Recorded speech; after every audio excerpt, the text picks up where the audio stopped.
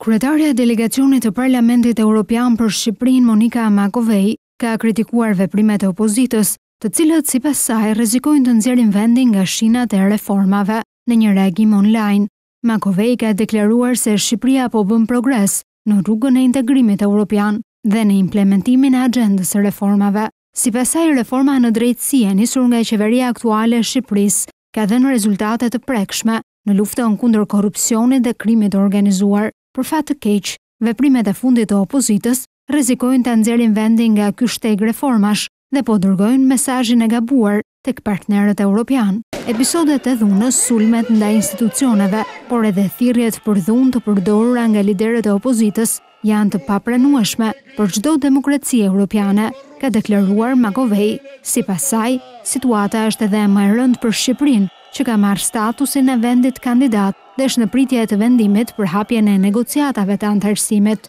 Parlamenti shqiptar, Duhet të jetë e vetmja platformë për debatet politike, ligjvënësit e opozitës kanë tradhtuar zgjedhësit e tyre, duke hequr dorë nga mandatet dhe kanë treguar se opozita nuk po punon për të sjellë Shqipërinë më afër BE-së, ka vijuar Makovej, duke cituar raportin e OSBE-ODIHR-it dhe rekomandimet e vëzhguesve ndërkombëtarë për zgjedhjet e dy mijë e shtatëmbëdhjetës, Makovej ka shtuar se Brukseli konsideron parlamentin dhe qeverinë shqiptare tërësisht legjitime.